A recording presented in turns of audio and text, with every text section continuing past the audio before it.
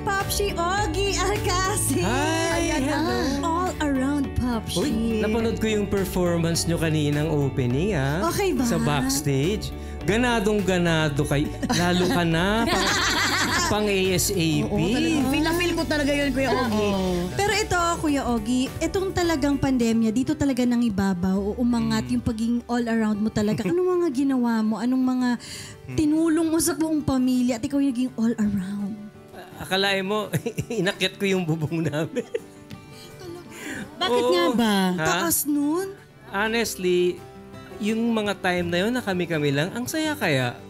Dahil tulong-tulong kami, di ba? At pagising ko sa umaga, nilalakad ko na yung mga aso. Pagkatapos, ah, maghahanda na ako ng breakfast. Kung hindi man magising si Regina. No? Kung magigising na siya, siya na maghahanda nun.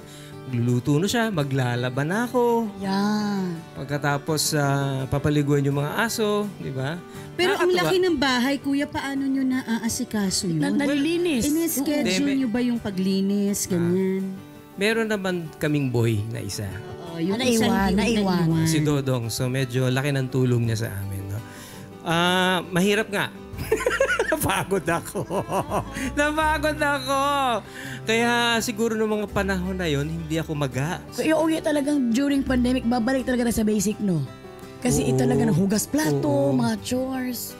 Na, na yung kamay ko nga na anong tawag dito na, na hindi lang nag-dry parang mamapdi na.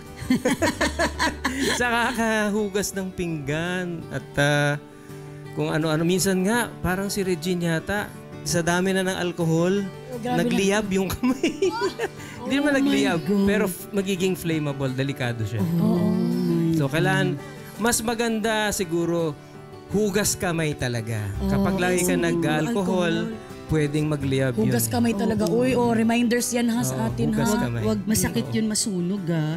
Pero Kuya Ogie, bukod raw sa gawaing bahay at ikaw daw din ay ah, naging PA ni Ate Reg Oo. or ah, personal assistant sa kanyang mga ginagawa din. Well, kasi syempre, work from home, biglaan ano, although ah, ikaw alam mo to, di ba, Jolens? Um, dahil sanay din naman ako magbutingting sa bahay, no, mag mag mahilig ako mag-camera, mahilig ako sa audio, mahilig so bigla akong nagamit lahat nung natutunan ko nung nag-aaral pa ako sa UP sa Mascom.